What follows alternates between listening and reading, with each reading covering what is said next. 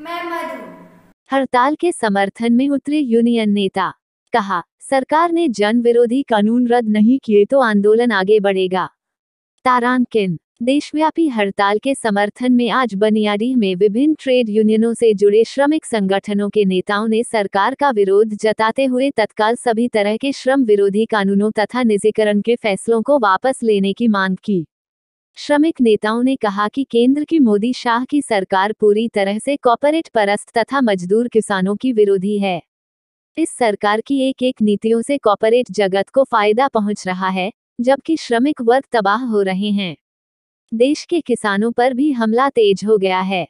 मेहनतक्षों का हरेक तबका आज केंद्र सरकार के खिलाफ सड़कों पर है। कहा कि यदि सरकार ने जन विरोधी नीतियों को वापस नहीं लिया श्रम विरोधी कानूनों को रद्द नहीं किया तो ये लड़ाई सिलसिलेवार ढंग से आगे बढ़ेगी। आज के आंदोलन में अन्य लोगों के अलावा United coal workers union AITUC के देव शंकर मिश्र एवं जीबुलाल बेलदार, सीएमडब्ल्यू के राजेश कुमार यादव, राजेश सिन्हा एवं पप्पू खान, झारखंड कोलियरी मजदूर यूनियन के तेजलाल मंडल, नरेश कोल एवं महेश यादव, कोलफील्ड मजदूर यूनियन के अमित यादव एवं अशोक मंडल आदि प्रमुख रूप से मौजूद थे।